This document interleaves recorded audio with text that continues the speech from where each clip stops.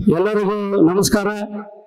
ಬಲೋ ಭಾರತ್ ಮಾತಾಕಿ ಭಾರತೀಯ ಜನತಾ ಪಾರ್ಟಿ ಕಿ ನರೇಂದ್ರ ಮೋದಿಜಿ ಅವರಿಗೆ, ಹಾಗೆ ನರೇಂದ್ರ ಮೋದಿಜಿ ಅವರಿಗೆ ಯಡಿಯೂರಪ್ಪನವರಿಗೆ ಮುಂದಿನ ಅಭ್ಯರ್ಥಿಯಾದಂಥ ವಿಜಯೇಂದ್ರವರಿಗೆ ಬಂಧುಗಳೇ, ಇವತ್ತು ಈಗ ತಾನೇ ಶಿಕಾರಿಪುರ ಮತಕ್ಷೇತ್ರದ ಅಭ್ಯರ್ಥಿಯಾಗಿ ರಾಷ್ಟ್ರೀಯ ಪಕ್ಷದ ಬಿಜೆಪಿ ಪಾರ್ಟಿಯ ಅಭ್ಯರ್ಥಿಯಾಗಿ ವಿಜೇಂದ್ರರವರು ಸಾವಿರಾರು ಬಿಜೆಪಿಯ ಜನತಾ ಪಾರ್ಟಿಯ ಅಭಿಮಾನಿಗಳು, ಕಾರ್ಯಕರ್ತರು, ಮುಖಂಡರ ಜೊತೆಯಲ್ಲಿ ನಾಮಪತ್ರವನ್ನು ಸಲ್ಲಿಸಿ ಇವತ್ತು ಎಲ್ಲ ಮುಖ್ಯ ರಸ್ತೆಗಳಲ್ಲಿ ಇವತ್ತು ಯುವೋತ್ಸವ ಇವತ್ತು ಎಲ್ಲ ಮುಖ್ಯ ರಸ್ತೆಗಳಲ್ಲಿ ಮೆರವಣಿಗೆಯ ಮೂಲಕ ಇವತ್ತು ಸಾರ್ವಜನಿಕರ ಸಭೆಯನ್ನು ಉದ್ದೇಶಿ ಈ ಸಭೆ ಮಾಡಲಿಕ್ಕೆ ಇವತ್ತು ವೇದಿಕೆಯ ಮೇಲೆ ಆಸೀನರಾಗಿದ್ದಾರೆ. ಬಂಧುಗಳ, ಈಗಾಗಲೇ ಬಹಳಷ್ಟು ಜನ ಮಾತಾಡಿದ್ದಾರೆ. ಸಮಯ ಅಭಾವದಿಂದ ನಾನು ಕೂಡ ಕೆಲವೇ ಕೆಲವು ನಿಮಿಷಗಳಲ್ಲಿ ಮಾತಾಡೋ ಮುಕ್ತಾಯ ಮಾಡ್ತೇನೆ. ಈ ಒಂದು ಸಾರ್ವಜನಿಕರ ಸಭೆಯ ಇಲ್ಲಿ ಆಶೀನರಾದಂಥ ನಮ್ಮ ನಿಮ್ಮೆಲ್ಲರ ನೆಚ್ಚಿನ ನಾಯಕರು, ಈ ರಾಜ್ಯ ಮೆಚ್ಚಿದ ಜನನಾಯಕರು ಆದಂತಹ ಯಡಿಯೂರಪ್ಪನವರೇ ಹಾಗೆ ಅಭ್ಯರ್ಥಿಯಾದಂಥ ವಿಜೇಂದ್ರ ಅವರೇ ಹಾಗೆ ರಾಘವೇಂದ್ರ ಅವರೇ ಹಾಗೆ ವೇದಿಕೆಯ ಮೇಲೆ ಆಸೀನರಾದಂಥ ಎಲ್ಲ ಗೌರವಾನ್ವಿತ ಶಾಸಕರೇ ಮುಖಂಡಗಳೇ ವೇದಿಕೆಯ ಮುಂಭಾಗದಲ್ಲೇ ಆಸೀನರಾದಂಥ ಎಲ್ಲ ಭಾರತೀಯ ಜನತಾ ಪಕ್ಷದ ಅಭಿಮಾನಿ ಬಂಧು ಬಳಗದವರೇ, ಎಲ್ಲ ನಮ್ಮ ಪತ್ರಿಕಾ ಮಾಧ್ಯಮದ ಸ್ನೇಹಿತರೇ, ಎಲ್ಲ ಸಮುದಾಯಗಳ ಸಂಘ ಸಂಸ್ಥೆಗಳ ಅಧ್ಯಕ್ಷಗಳೇ ಪದಾಧಿಕಾರಿಗಳೇ, ನಾಗರಿಕ ಬಂಧುಗಳೇ. ಬಂಧುಗಳೇ ಇವತ್ತು? ಯಡಿಯೂರಪ್ಪನವರು ಐವತ್ತು ವರ್ಷ ರಾಜಕೀಯ ಜೀವನ. ಐವತ್ತು ವರ್ಷದ ರಾಜಕೀಯ ಜೀವನದಲ್ಲಿ ಒಬ್ಬ ನಗರಸಭಾ ಸದಸ್ಯರಾಗಿ ಅಲ್ಲಿಂದ ಇವತ್ತು ಈ ರಾಜ್ಯದ ಎಂಟು ಎಂಟು ಬಾರಿ ಶಾಸಕರಾಗಿ, ಮೂರು ಬಾರಿ ಮುಖ್ಯಮಂತ್ರಿಗಳು ಅವೇನಾದ್ರು ಆಗಿದ್ದಾರೆ ಅಂದ್ರೆ ಈ ತಾ ಶಿಕಾರಿಪುರದ ಮತದಾರರ ಆಶೀರ್ವಾದ ದೇವರ ಅನುಗ್ರಹದಿಂದ ಈ ರಾಜ್ಯದ ಮೂರು ಬಾರಿ ಮುಖ್ಯಮಂತ್ರಿ ಯಡಿಯೂರಪ್ಪನವರು ಆಗಿದೆ ಅದಕ್ಕೆ ನೀವೇ ಕಾರಣಭೂತರು. ಐವತ್ತು ವರ್ಷ ಅವರ ರಾಜಕೀಯ ಜೀವನ ಸಾರ್ವಜನಿಕರ ಸಾರ್ವಜನಿಕರ ಸೇವೆಗಾಗಿ ಮುಡುಪಿಟ್ಟು ತನ್ನ ಜೀವನದ ಬದುಕನ್ನೇ ತ್ಯಾಗ ಮಾಡುವಂತ ಈ ಬಿಜೆಪಿಯ ಭಾರತೀಯ ಜನತಾ ಪಕ್ಷದಲ್ಲಿ ಅವರು ಯಾರಾದರೂ ಇದ್ರೆ ಅವರು ಯಡಿಯೂರಪ್ಪನವರು ಅಂತೇಳಿ ಬಹಳ ಸ್ಪಷ್ಟವಾಗಿ ಸಭೆಯಲ್ಲಿ ಹೇಳಿಕೆ ನಾನು ಬಯಸ್ತೇನೆ. ನೀವು ಏನ್ ಮಾಡಿ ಅವರನ್ನು ಶಾಸಕರಾಗಿ ಮಾಡಿದ್ದೀರ?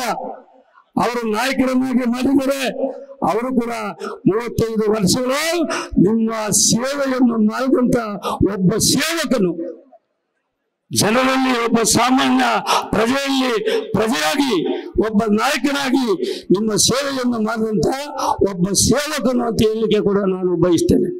ಅಂತ ಒಬ್ಬ ಅಂತ ಒಬ್ಬ ಯಡಿಯೂರಪ್ಪನವರ ಸುಪುತ್ರನಾದಂತ ವಿಜಯ ಕೂಡ ಇವತ್ತು ಯುವ ನಾಯಕರಾಗಿ ಇವತ್ತು ಚುನಾವಣೆಯಲ್ಲಿ ಸ್ಪರ್ಧೆಯಲ್ಲಿ ಅವರು ಇದ್ದಾರೆ ಇವತ್ತು ಯಡಿಯೂರಪ್ಪನವರು ಇವತ್ತು ಮೂವತ್ತು ವರ್ಷಗಳ ಕಾಲ ಈ ಶಿಕಾರಿ ಬಳಕೆ ಬಿಜೆಪಿಯ ಒಂದು ಬುನಾದಿಯನ್ನು ಹಾಕಿದಂಥವ್ರು ಇವತ್ತು ಆ ಬುನಾದಿಯ ಮೇಲೆ ವಿಜೇಂದ್ರ ಅವರು ಇನ್ನು ಮುಂದಿನ ಮೂವತ್ತು ವರ್ಷಗಳ ಈ ತಾಲೂಕಿನ ರಾಜಕೀಯ ಭವಿಷ್ಯವನ್ನು ರೂಪಿಸಿ ಸಮಗ್ರ ಅಭಿವೃದ್ಧಿಗೆ ಫಲತಟ್ಟು ನಿಮ್ಮ ಸೇವೆಯನ್ನು ಮಾಡಲಿಕ್ಕೆ ಇವತ್ತು ವಿಜೇಂದ್ರ ವಿಜೇಂದ್ರ ಅವರು ಬಂದಿದ್ದಾರೆ.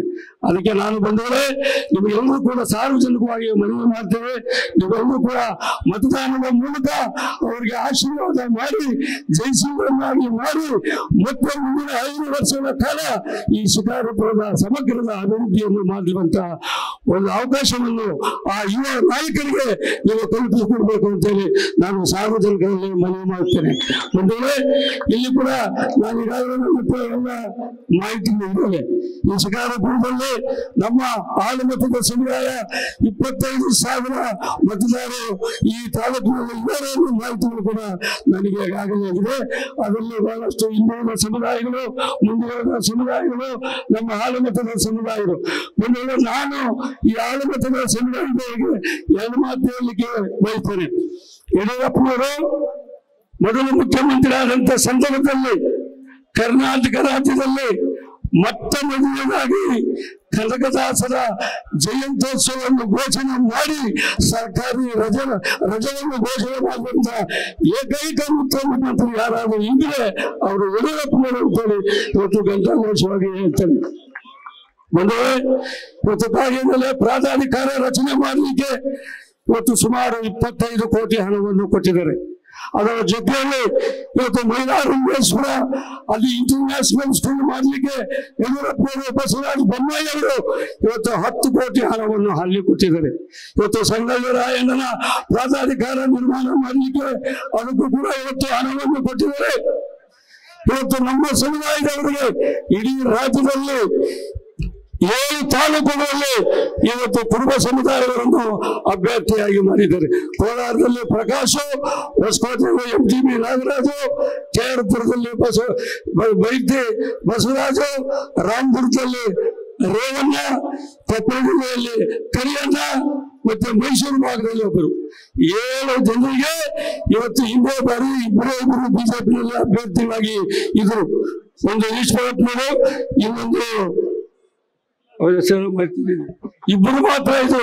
ಇವತ್ತು ಏಳು ಜನರಿಗೆ ಭಾರತೀಯ ಜನತಾ ಪಕ್ಷದಲ್ಲಿ ಇವತ್ತು ಟಿಕೆಟ್ ಅನ್ನು ಕುರುಬ ಸಮುದಾಯದವರಿಗೆ ಕೊಟ್ಟಿದ್ದಾರೆ. ಅದಕ್ಕೆ ನಾನು ತಮ್ಮೆಲ್ಲರಲ್ಲಿ ಕಳಕಳಿಯಿಂದ ಮನವಿ ಮಾಡ್ತೇನೆ.